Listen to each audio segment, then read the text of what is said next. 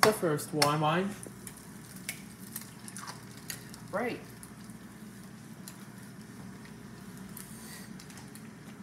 And finally, the last wine. Right, exactly. Exactly.